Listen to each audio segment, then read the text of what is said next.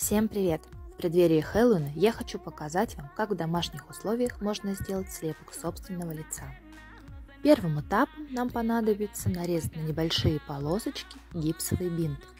Смачивая каждый кусочек в теплой воде, накладываем его в виде маски на лицо. Предварительно лицо нужно смазать вазелином, чтобы в дальнейшем наш слепок легко отделился, не вызывая дискомфорта и раздражения на коже. После полного высыхания необходимо промазать внутреннюю поверхность слепка подсолнечным маслом. И приступаем к заливке слепка строительным гипсом. Консистенция должна быть как густая сметана. После полного застывания гипса аккуратно отделяем от слепка бинт и придаем гладкость нашему лицу с помощью наждачной бумаги вот и все. Все просто и быстро. Повторяйте.